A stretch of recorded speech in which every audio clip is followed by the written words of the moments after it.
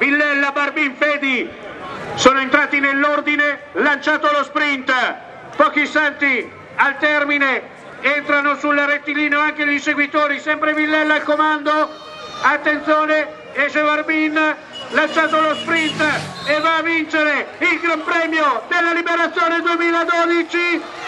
Enrico Barbin, Fedi, Villella, terza affermazione stagionale per Barbin. Quarto posto per Sbaragli.